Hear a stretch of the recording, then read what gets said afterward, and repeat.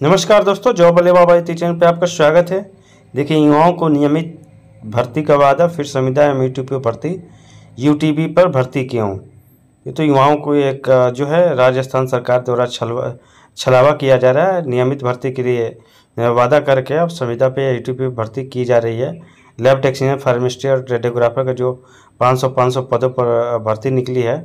और वहाँ बताया जा रहा है कि और मतलब कि पहले था कि नियमित भर्ती का वादा किया गया था, लेकिन फिर से संविदा पे इन लोगों की भर्ती की जा रही है। बताया जा रहा है कि जो चिकित्सा विभाग के आठ अलग अलग कैडर के लिए बीस हज़ार पाँच सौ चालीस पदों की भर्ती की ज़िम्मेदारी जलाना स्थित जो राज्य स्थित एवं पर्यावरण कल्याण संस्थान को सौंपी है, लेकिन कछुए चाल से चल रही भर्ती पर प्रक्रिया कर रही ऐसी युवाओं को भविष्य के साथ खिलवाड़ किया जा रहा है।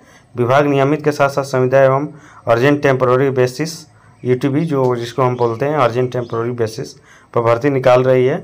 ऐसे में चिकित्सा विभाग के मंशा पर संदेह है और सवाल उठता है कि पहले नियमित पदों पर क्यों निकालेगी नियमानुसार पहले भर्ती प्रक्रिया पूरी करने का बजाय अब संविदा और यूट्यूब पर भर्ती की जा रही है। देखिए, नर्सिंग ऑफिसर जो है कितने पदों पर भर्ती है, नियमित बीस हज़ार आठ सौ छियालीस पद नाम जो पदों की संख्या बताई जा रही है। नर्सिंग ऑफिसर आठ हज़ार सात सौ पचास, ए एन एम का चार हज़ार आठ सौ सैंतालीस फार्मिस्ट का तीस हज़ार सड़सठ, लैब टेक्नीशियन का दो हज़ार एक सौ नब्बे, सहायक रेडियोग्राफर का ग्यारह सौ अठहत्तर, नेत्र सहायक का एक सौ सत्रह डेंटल टेक्नीशियन का एक सौ इक्यावन और ई सी जी टेक्नीशियन का दो सौ छियालीस पदनाम जो है, आप देख सकते हैं, शिफू की जो ज़िम्मेदारी दी गई है। संविदा पे जो भर्ती होने वाली है, तीन हज़ार चार सौ छियालीस है। और पदनाम जो पदों की संख्या है, देख सकते हैं एन एम के बीस सौ अंठावन जी एन एम का पंद्रह सौ अट्ठासी जो कर्मचारी चयन बोर्ड आयु जयपुर की ज़िम्मेदारी गई है।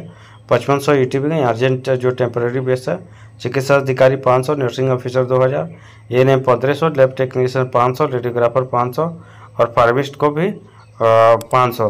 यहाँ देख सकते हैं कि एक तरफ़ सीपू आठ, अलग कैटेगरी में बीस हज़ार आठ सौ चालीस, पदों पर भर्ती पर कुंडली मार के बैठा हुआ है, जबकि जो जो सर्वपल्ली राधा कृष्ण आयुर्वेद विश्वविद्यालय की ओर से होम्योपैथी यूनानी चिकित्सा पद के पदों पर की जा रही भर्ती तेज रफ्तार से चल रहा है। चुनाव की आचार संहिता के लगने के डर से होम्योपैथिक होम्योपैथिक जो है, चिकित्सा पर अधिकारियों की भर्ती की जा रही है। भर्ती को सूची दस्तावेज़ सत्यापन का काम सात अगस्त से प्रारंभ हो जाएगा, जबकि यूनानी चिकित्सा अधिकारियों का दस्तावेज़ सत्यापन जो है, दस अगस्त से बारह अगस्त तक चलेगा। तो देखिए, कब तक मतलब कि राजस्थान जागती है कि सब पदों पर जो बहाली होने वाली है उसके प्रक्रिया पूरी हो जाती है। जैसे कुछ अपडेट आएगा, ज़रूर हमारे चैनल पर मिल जाएगा। तो तक चैनल को ज़रूर सब्सक्राइब कीजिए। वीडियो अच्छा लगे तो अपने दोस्तों को ज़रूर कीजिए। एक वीडियो बनाने में बहुत मेहनत करना पड़ता है।